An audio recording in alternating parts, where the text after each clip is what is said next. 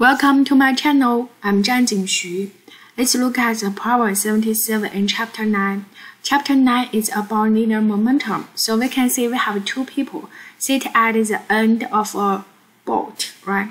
The mass of the, these two people, MA and MC, is given, and location is given. Now we know the boat's mass and the central mass of this boat is just XB is given.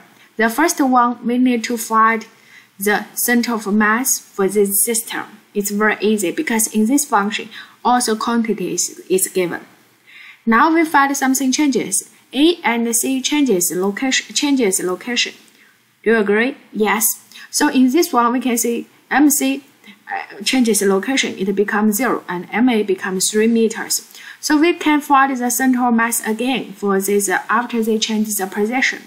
And then the XCM plus, we find it now, can you find how far or direction the boat moves? Sure, because we can see in this system, no external force acting on it, right? And how the center of mass changes? It because this two person changes the location. So we use the final central mass minus initial central mass is uh, how far away this boat moves. Thank you. It, uh, you can see this one is just a positive, so it moves to the right hand side.